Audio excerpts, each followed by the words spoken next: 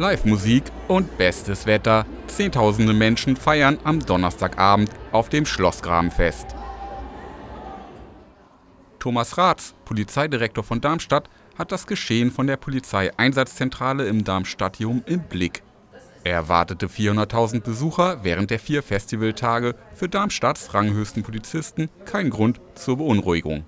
Ja, also logistischer Aufwand ist ähm, dadurch, dass es eine Vier-Tage-Lage ist, äh, sicherlich eine gewisse Herausforderung.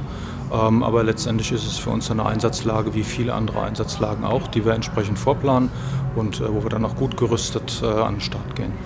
Professionelle Routine also. Mehr Details zum Einsatz, wie zum Beispiel die Anzahl der eingesetzten Polizisten, will Thomas Raths nicht verraten, aus einsatztaktischen Gründen.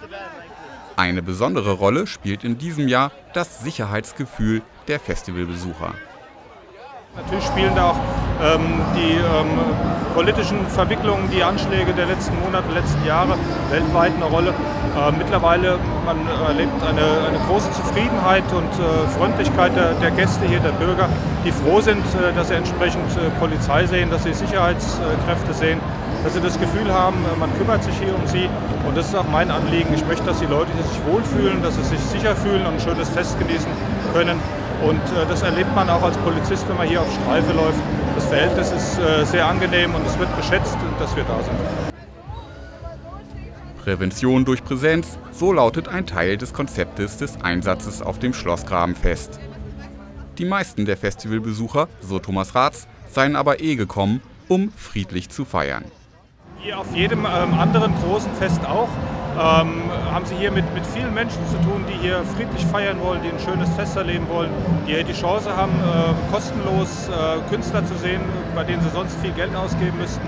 Und natürlich haben Sie hier auch Leute, die äh, Stress machen, äh, alkoholbedingt oder auch so Körperverletzungen.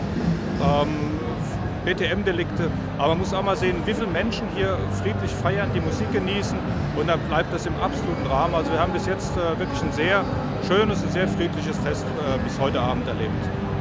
Nach den vier Festivaltagen ist denn auch für Thomas Raths Entspannung angesagt. Dann geht er in den wohlverdienten Urlaub.